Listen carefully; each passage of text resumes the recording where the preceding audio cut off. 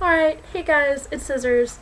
Uh, today we're going to talk about the Book of Shadows because it's been on my mind a lot. Uh, it's something that I'm working with to kind of change how I'm doing it, and so I thought I'd talk about it because why not? I've actually been trying to make this video for a while and have been having difficulty getting words out in a way that, you know, other people can get meaning out of. So, whatever happens here is probably gonna be what gets put up because it's been too long.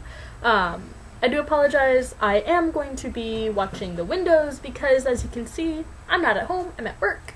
Um, so I'm keeping my glasses on and watching for customers because even though it is negative 50 degrees outside, people still want coffee. Uh, so, so yay, Alaska. Um, but I swear I'm paying attention to you. It's just, you know, gotta be a good, good employee. So, uh, if you want to hear more about my thoughts on the Book of Shadows and how I'm doing it and what have you, then keep watching. Alright, so when I hear about the Book of Shadows, there's a couple things that come to mind automatically. And these are things that if you grab your Wicca 101 book and open up to the section on tools, you find a paragraph on the Book of Shadows. It's about that long. Yeah, about that long. Um, and these are the things that are generally put in there. It is handwritten, copied from either the Mentor or the Coven Book of Shadows. It is kept absolutely secret. It is usually a black bound book and is the magical journal or the spell book. And that's not really helpful when your handwriting sucks. You don't know where to get a copy of a Book of Shadows to copy and or don't believe or agree with everything in said Book of Shadows that you find to copy. Um, you just put a drawing in there that looks really freaking awesome and you want to show somebody. You don't want your book to be black because you would rather have something a little bit more pretty and magical journal. What does that mean? Um, so these vague statements don't really help a whole lot. So really the only way to find out what a Book of Shadows is is to have one and see what it becomes for you. Alright, so I've gone through a couple Book of Shadows already, trying to figure out what I want out of it, and how I want to do it, and what I want it to look like, and so on and so forth. If you guys have seen my other video about the Book of Shadows, I have my big old purple one with the stars on it, and it's all hand-bound, and uh, I made it myself.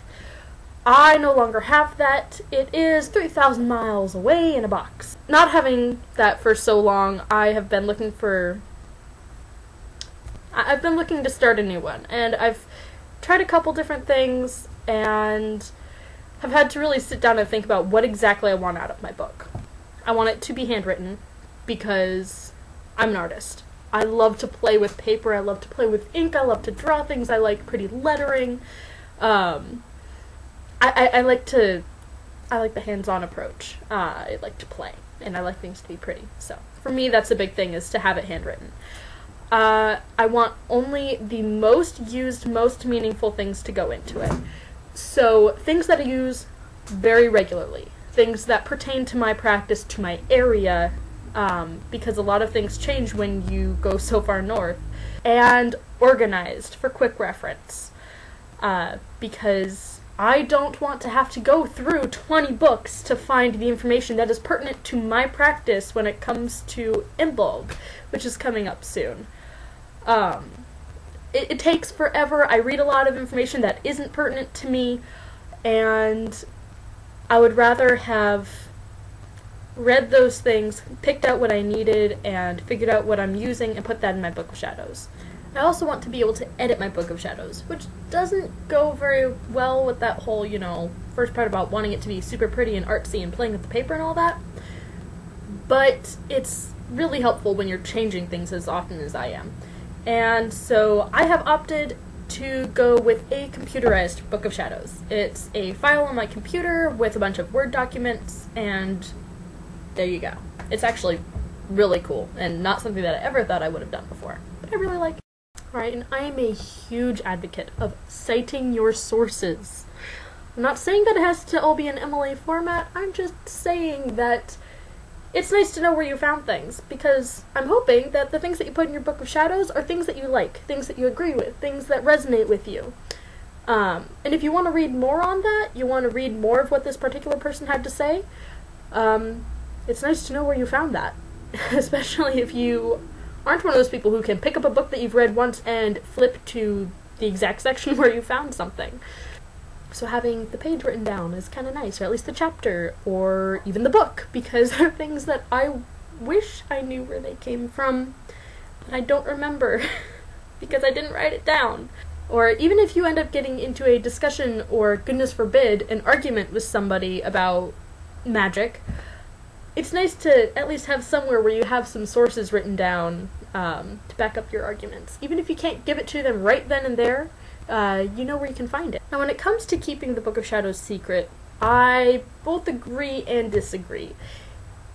I don't think that it's all information that has to be kept secret. We can't tell anybody about what we're doing because, you know, it's not published in 20 million books already. It, it's not like somebody knowing what the color red means to me is going to be dangerous.